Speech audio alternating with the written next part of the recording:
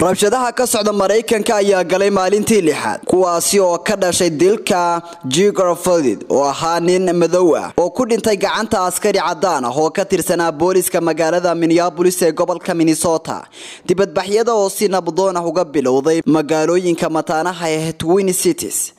minneapolis iyo stbow ayaa isku bedelay rabshado iyadoo ay isku dhaceen. Booliska iyo dibadbaxayaasha kuwaasi oo ku sii faafay magaalooyin badan oo ka mid a dalka maraykanka saraha qaarkood ayaa la gubay amamase fooqaqa waxaana la bililiqaystay dukaamada qaar taasi oo horseeday in la soo kiciyo ciidamada militariga ee loo yaqaano national gold booliska ayaa ku dhowaad saddex kun oo qof ku xidhay in ka badan labaatan magaalo oo ku yaalla maraykanka waxaana dadka badankooda amabase boqolkiiba shan iyo labaatan lagu xidhay magaalada los angeles. Eedeymaha dadka loo haysto waxaa ka mid ah inay jibiyeen bandow la soo rogay burcadnimo iyo waxyeelo hanti